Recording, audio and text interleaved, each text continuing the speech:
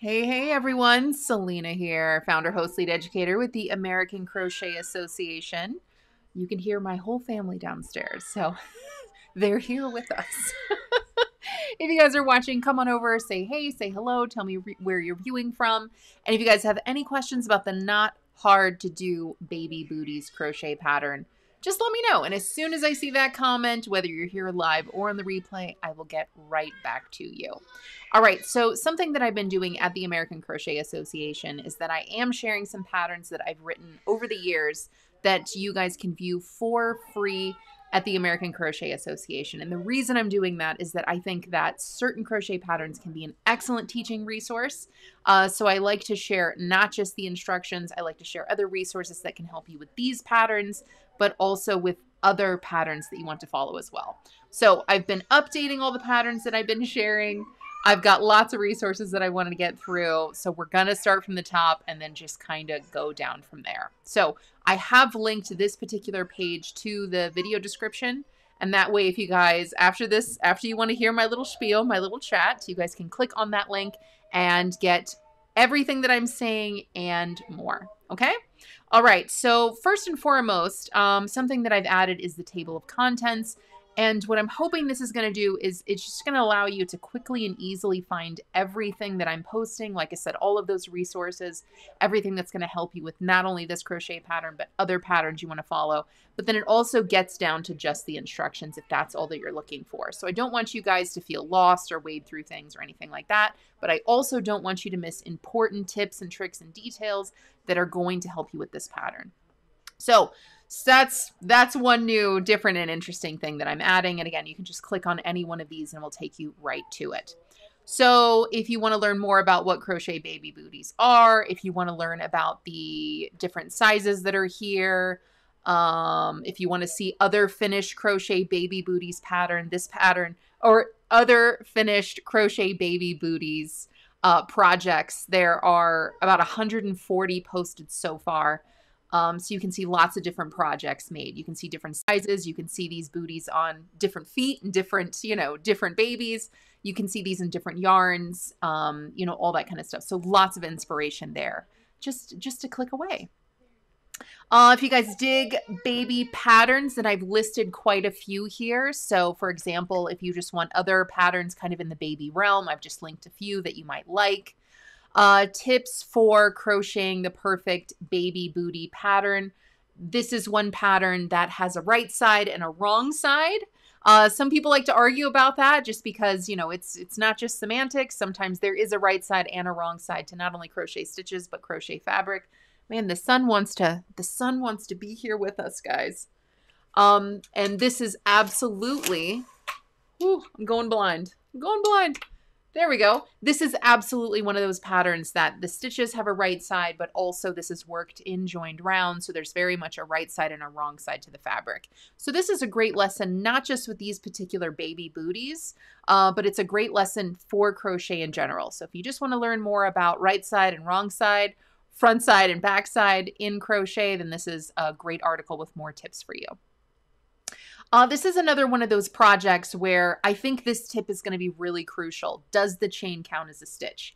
Now, this is something that I note in the pattern. I tell you, um, you know, whenever you're starting a new round, um, you know, if you are chaining to start that new round, I tell you whether or not that chain counts as a stitch. So I do give you tips and details about what that means in this particular pattern. But if you guys want even more information about what that means in practice, like, wait, where am I joining? Where am I starting? Where am I putting my stitches? Where am I not putting my stitches? If you guys want even more information so that you guys can follow this pattern and other patterns like this, man, that sun is just brutal. Look at this. look at the, look at this sun. That's what we get on the live in the afternoon. Uh, this particular tip that I'm sharing with you, um, it goes over the fundamentals of that, but then there's also uh, photo tutorials so you can kind of pick through oh, this is what it means when the chain counts as a stitch. This is where I work my first stitch. This is where I use stitch markers. This is what happens when it's not. Uh, I also have some uh, professional crochet tips, tips from a professional. I've just been doing it for a real long time. Um, I've made some mistakes and I have figured some things out that just help my projects look more professional. So, especially since these are such small projects, these little baby booties, if you really just kind of want to learn some things to help every project, including the tiny ones with color changes like this, to look professional, then I've got some tips for you. Uh, if you want to just get a PDF version of this pattern, if you don't want to wade through any of this, if you don't want to bookmark this page so you can view it anytime, um, then you can just purchase a PDF on Ravelry. I have a link for you guys to do that if that's what you would like. Um, I also go through great details in terms of like um, what yarn I used, um, you know, how you can substitute yarn. This is one of those projects where it's size essential.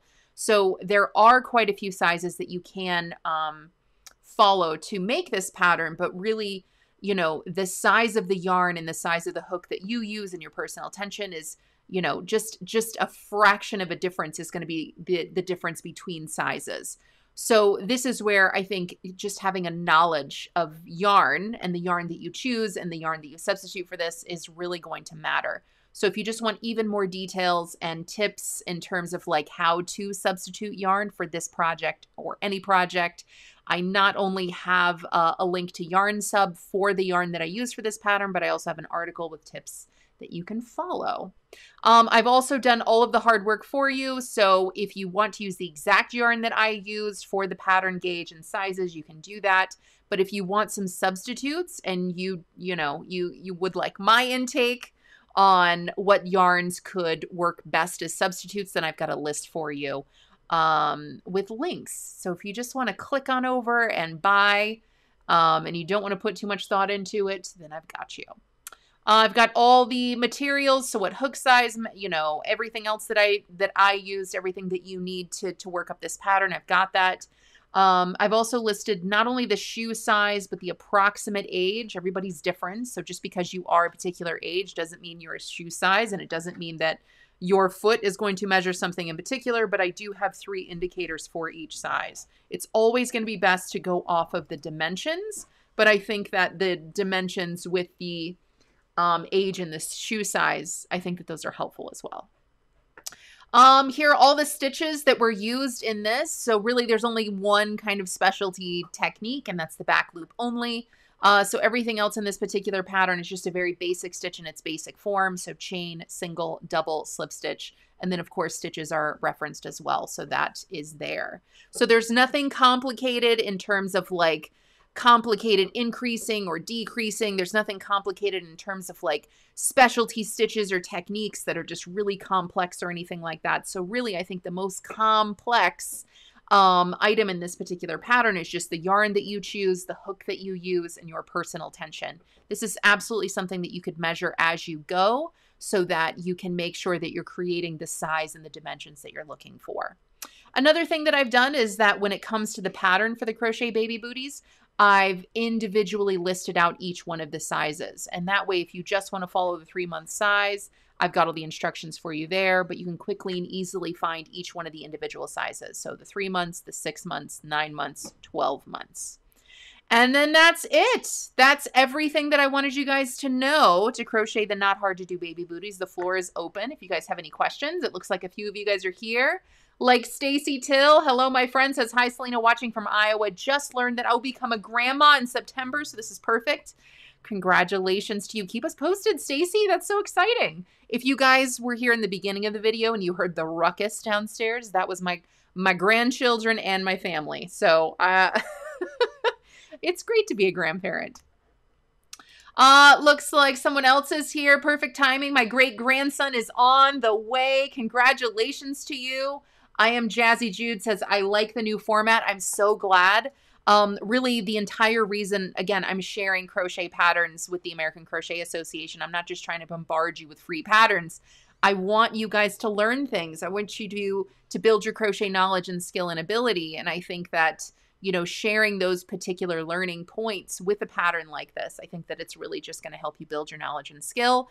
And I don't ever want to share a pattern that's that is going to frustrate people or that people are going to feel like they can't get through if they want to. Guys, the sun is it's just trying to kill me.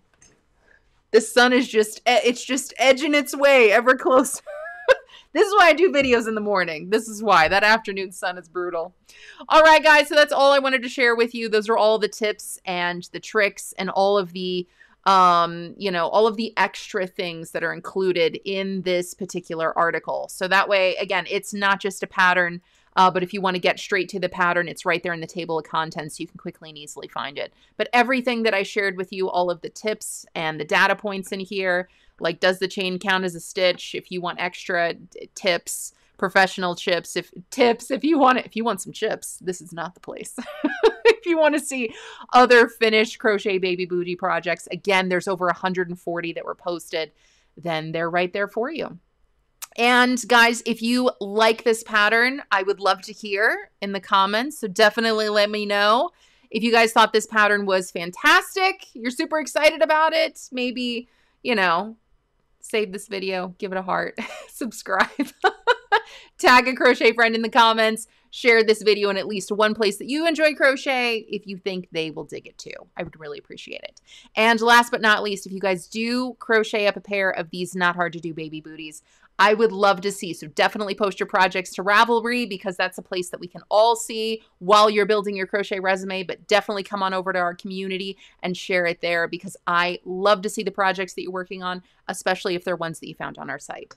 All right, everybody, that's all I have for you guys today. Hope you enjoy the pattern. Peace, love, crochet. See you next time. Bye-bye.